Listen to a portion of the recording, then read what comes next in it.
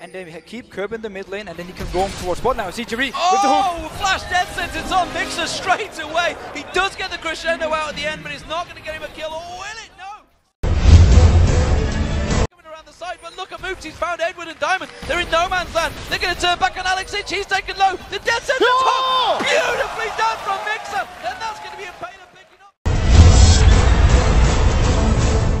Creaton, Can he go for the quadrant? They're going to keep on chasing. No. Bats sportsmanship. Oh, Oh, another hook comes out. Brilliant play from Jerry. That's a quadra kill.